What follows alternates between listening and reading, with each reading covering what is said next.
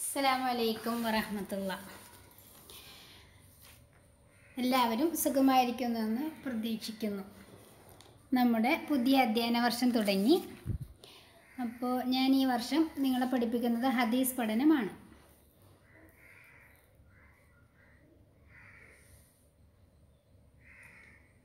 അപ്പോൾ നമ്മുടെ ഈ വർഷത്തെ ഒന്നാമത്തെ പാഠം ജീവിതം കൊണ്ട് രചിച്ച പ്രമാണം. ഇന്ന് രാവിലെ ടീച്ചർ ഗൂഗിൾ ക്ലാസ് റൂമിലേക്ക് ടെക്സ്റ്റിന്റെ പി ഡി എഫ് അയച്ചിരുന്നു. എല്ലാവരും അത് വായിച്ചിട്ടുണ്ടാകുമെന്ന് പ്രതീക്ഷിക്കുന്നു. അപ്പോൾ പാഠത്തിലോട്ട് പോകാം. ഒരാളുടെ ജീവിതം ഒരു പ്രമാണമാകുമോ? ജീവിതം എല്ലാ കാലത്തുമുള്ള മുസ്ലിങ്ങൾക്ക് ജീവിതത്തിന്റെ അടിസ്ഥാനമാണ്. ദീനുൽ ഇസ്ലാമിന്റെ ഒന്നാമത്തെ പ്രമാണമാണ് ഖുർആൻ. ഖുർആന്റെ സന്ദേശങ്ങൾ ജനങ്ങളെ പഠിപ്പിക്കാൻ അള്ളാഹു നിയോഗിച്ച പ്രവാചകനാണല്ലോ മുഹമ്മദ് മുസ്തഫ സല്ലാഹു അലൈഹി വസല്ലം.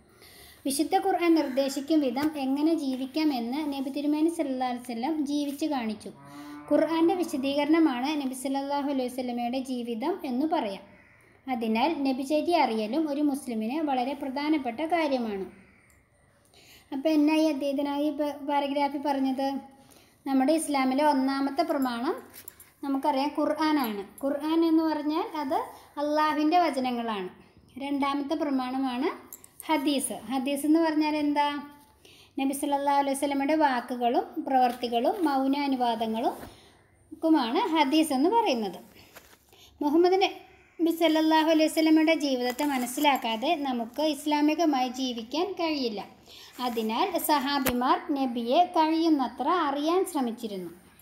ഇങ്ങനെ അറിഞ്ഞ കാര്യങ്ങൾ പിൻതലമുറകൾക്ക് അവർ പകർന്നു കൊടുത്തു. പ്രവാചക ശിഷ്യന്മാരിൽ നിന്ന് പകർന്നു കിട്ടിയ നബിയുടെ വാക്കുകളും പ്രവർത്തികളും പിൻതലമുറകൾ ശേഖരിക്കാനും എഴുതി വയ്ക്കാനും തുടങ്ങി. ഇവയാണ് ഹദീസുകൾ. അപ്പോൾ നമ്മൾ ഖുർആൻ പഠിക്കുന്നത് പോലെ തന്നെ മുഹമ്മദ് നബിയുടെ ജീവിതത്തെ മനസ്സിലാക്കാതെ നമുക്ക് മുസ്ലിമായി ജീവിക്കാൻ കഴിയില്ല.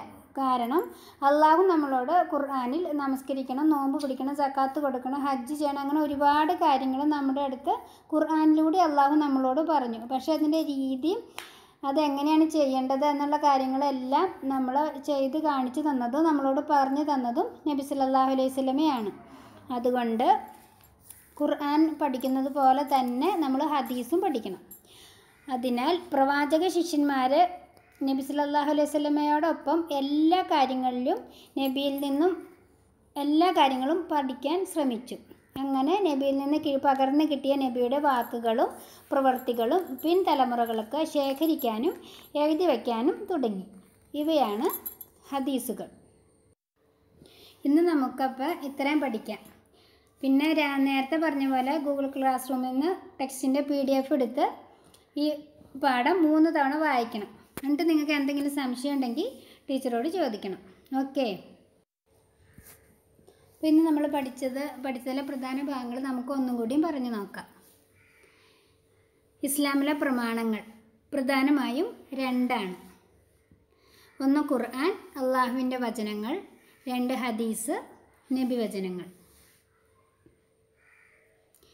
പിന്നെ എന്താണ് ഹദീസ്? ഹദീസിന്റെ നിർവചനം. നബി സല്ലല്ലാഹു അലൈഹി വസല്ലമയുടെ വാക്കുകൾ പ്രവർത്തനങ്ങൾ പ്രഭാഷണങ്ങൾ കത്തുകൾ മൗനാനുവാദങ്ങൾ ഇവയാണ് ഹദീസ്. ഇനി നമുക്ക് ബാക്കി അടുത്ത ക്ലാസ്സിൽ പഠിക്കാം. ജസാക്കല്ലാ ഖൈർ. അസ്സലാമു അലൈക്കും.